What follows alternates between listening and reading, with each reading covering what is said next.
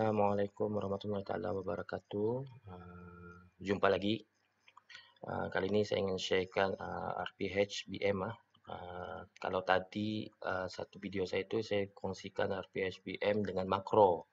Sekarang ni kita kadang-kadang ada cikgu ni, orang ada masalah dengan uh, macam mana enable makro.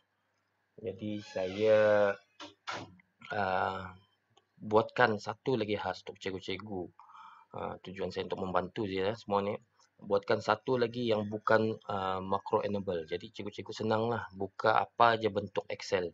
Versi excel lah. Boleh. Okay, jadi seperti biasa kita akan masuk di dalam grup uh, saya.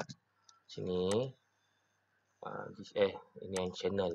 Uh, ini. Okay. jadi tengok dalam file. Kita pergi bagi rph maker 2020 okay jadi kita show in folder. Okay. Kita double klik. Okay, dia ber, dia sebenarnya isinya sama saja. Isinya sama saja dengan yang macro enable tadi. Kalau boleh buat macro enable lagi lagi cantik lah sebenarnya. Okay, yang di sini saya dia tak ada klik-klik lah. Dia cuma saya memang siap-siap tunggu buatkan di sini lah. Ada RPS 1, RPS 2, RPS 3. Cuma kita apa yang perlu kita buat dalam menu sajalah menu.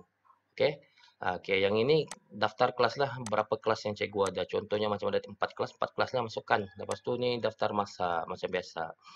Okey, yang ini once in the lifetime orang bilang. Untuk tahun tu isi sekali ini je. Yang ini pun sama. Sekali saja. Cuma yang akan sentiasa berubah hari-hari adalah langkah ni lah. Langkah tiga, langkah empat dan langkah lima. Okey. Jadi untuk langkah tiga kita pilih lah uh, menu apa. Okey, contoh macam ini kita mau ajar tahun satu. Lepas tu ini macam yang saya ajar tadi lah dalam BM. Uh, rujuk saya punya video yang sebelum ni lah. Okay. Lepas tu ini pun rujuk juga balik uh, nombor RPH yang digunakan daripada senarai nombor RPH yang inilah. Sama juga macam yang saya punya video sebelum ni lah. Okay. Jadi ini sudah selesai. Jadi kita akan tengok uh, kalau sekiranya satu kumpulannya uh, dia terus buatkan yang inilah. Dia berdasarkan daripada sini 120 RPH 120. Untuk yang ini dia ada masukkan 120, 120 eh, dan 70, 149. Okey, untuk kumpulan 3 uh, begini sama juga. Jadi kalau tak nak munculkan yang dua-dua tu, uh, ni delete kalau satu kumpulannya, kumpulan satu je, okey, dia akan keluar di sini sahaja. Nampak eh? RPH 2 dia cep uh, ah, kosong. Tengok NA NA NA NA. Kumpulan 3 pun dia akan NA NA NA. Ha, dia kosong lah. Okay, dia cuma ada di dalam kumpulan satu sahaja. Lepas tu menu apa ni yang ini. Lepas tu dalam kumpulan satu, di sini dia, dia akan keluarkan. Ha, berdasarkan pilihan kita tadi sini lah. Ha, ni. Kita pilih ni BM kemahiran pemulihan kan. Ha, BM kemahiran pemulihan pra tu. Yang kalau yang ini kosong, pra tulis. Kita ambil satu. Maka dia di sini dia akan keluar secara otomatik lah. Ah, dia di sini kosong lah, tak ada pilihannya. Jadi kita pilih di sini contoh macam menu tadi. Kita pilih dia ni kita padam lah. Kita mau buat satu jangan. Okay.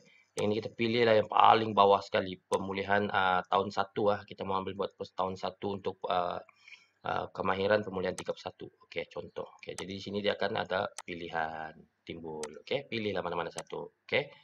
Yang ini saya ada lock ni. Mana yang nak boleh tekan tu maksudnya saya sudah apa ni lock supaya cikgu-cikgu uh, data delete lah. Nanti susah lagi hilang lagi formula kan? Ah yang ini pilih lah berapa. Okey yang ini semua sudah lock. Jadi ini semua sudah siap. Ah jadi lepas tu di sini saya buka berapa orang. Ah yang ini pun ada pilihan macam biasa. Lepas tu PDP ditangguhkan kerana apa pun ada. Okey ini semua. Okey seperti biasa.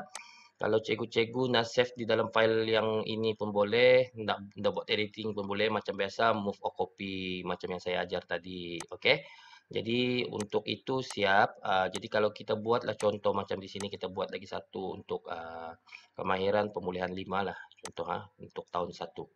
Uh, kemahiran sembilan lah senang sini kan. Nah ni tahun satu uh, standar pembelajaran tahun satu eh, bahasa Melayu KP maksud kemahiran pemulihan sembilan contoh macam sini.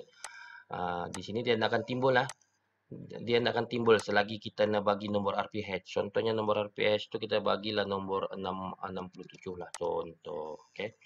Alright, baru dia timbul. Kalau tadi dia NA kan, sekarang dia timbul. Jadi di sini buat boleh buat pilihan. Macam sini pun macam biasa, boleh buat pilihan. Okay. Jadi itu saja untuk RPH Maker tanpa kita menggunakan macro enable. Jadi seperti biasa itu saja perkongsian dari saya.